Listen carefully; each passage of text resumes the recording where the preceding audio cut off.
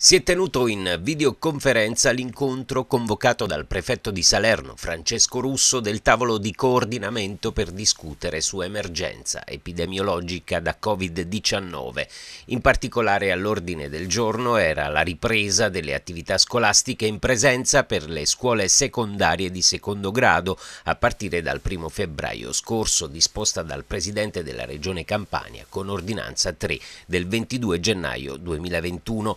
Presenti alla riunione il presidente della provincia di Salerno, i sindaci dei comuni di Salerno, Agropoli, Amalfi, Angri, Battipaglia, Cava dei Tirreni, Nocera Inferiore, Nocera Superiore, Pagani, Sala Consilina, Sapri, Sarno, Scafati e Vallo della Lucania, il dirigente dell'ufficio scolastico provinciale, il rappresentante di Anci Campania, il dirigente generale dell'ASL e le aziende di trasporto della provincia. Abbiamo fatto il punto della situazione, dichiara il presidente della della provincia strianese per gestire le eventuali criticità e capire l'andamento dopo la ripresa della didattica in presenza avviata il primo febbraio scorso. È fondamentale muoversi in sinergia per coniugare le esigenze dei due comparti, scuola e trasporti, e coordinare al meglio gli orari di ingresso-uscita dagli istituti scolastici con gli orari dei servizi di trasporto implementati da ulteriori corse aggiuntive. Soprattutto è necessario evitare assembramenti, massima attenzione quindi nelle aree a maggiore rischio in prossimità degli istituti scolastici